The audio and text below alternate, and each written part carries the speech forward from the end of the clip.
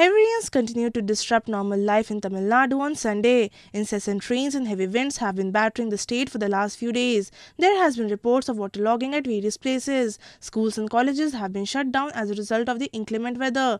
So far, 55 people have died because of the heavy downpour. Director of Regional Meteorological Department S.R. Ramanan said that since the cyclone rests near Sri Lanka, heavy rain will continue for the next three days in Tamil Nadu. Fishermen have been advised not to venture out to sea along and off North Tamil Nadu, Puducherry adjoining Pudukkottai and Ramanathapuram districts of South Tamil Nadu. Correspondent Deepa from Chennai for ANI.